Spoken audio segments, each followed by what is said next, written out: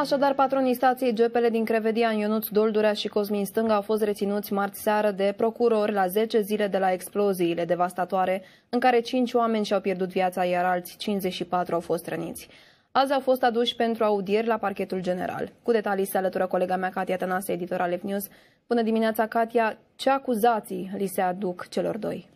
Bună dimineața, Alice, patronul stației GPL din Crevedia, care este și fiul primarului din Caracal, și Cosmin Stâng, asociatul său, au fost reținuți uh, de procurori pentru infracțiunea de distrugere din culpă, care a avut ca urmare un dezastru. De asemenea, este urmărită penal uh, și societatea comercială a celor doi, conform procurorilor în perioada 30 septembrie 2020 și 26 august 2023. Societatea a funcționat în mod sistematic prin încălcarea repetată a legii privind derularea operațiunilor de alimentare, transport și depozitare de combustibil GPL la punctul de lucru neautorizat din uh, Crevedia. Avocatul patronilor de la Crevedia acuză că întreaga urmărire penală urmărește spectacolul, presa aflând înainte a sa că cei doi clienți ai săi au, au calitatea de inculpați.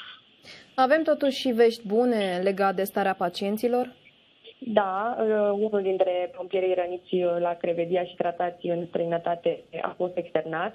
Radu este primul uh, pompier recuperat în afara țării după explozii exploziile de la Crevedia. Este bine și a revenit azi noapte în România.